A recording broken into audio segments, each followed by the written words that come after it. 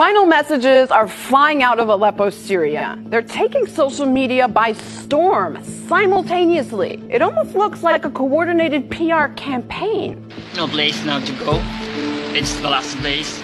This may be my last video. This might be uh, close to, if not the last communication. It uh, is the last time that I talk to you.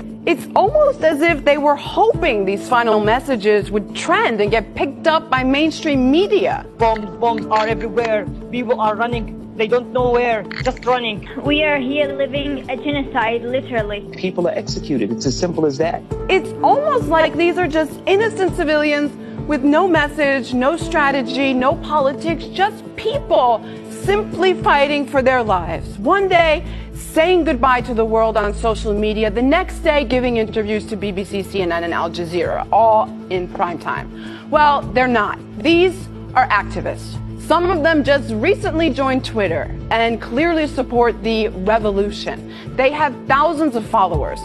Some call themselves journalists and are verified on Facebook, like Bilal Abdul Kareem, an American who has no problem pushing al Nusra propaganda. You know, the rebels.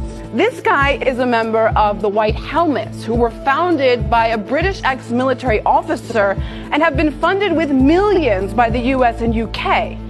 And then there's a little girl named Bana, also joined Twitter not so long ago, in September. She's already verified and has over 200,000 followers.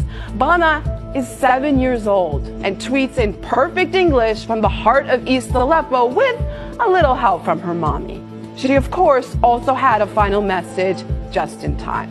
So, what do all of these people have in common? They want you to think there's one side to this story, one truth that Assad is randomly going from city to city and killing his own people for some crazy reason with the help of Russia, even though the whole world is watching every step. They want you to think that these civilians pouring out of Aleppo are running from genocide committed by the Syrian army, and those who celebrate on the streets are dancing on children's graves while Al Qaeda infiltrated rebels are bravely and heroically defending civilians in East Aleppo. The question is do you buy it? Because millions of people do.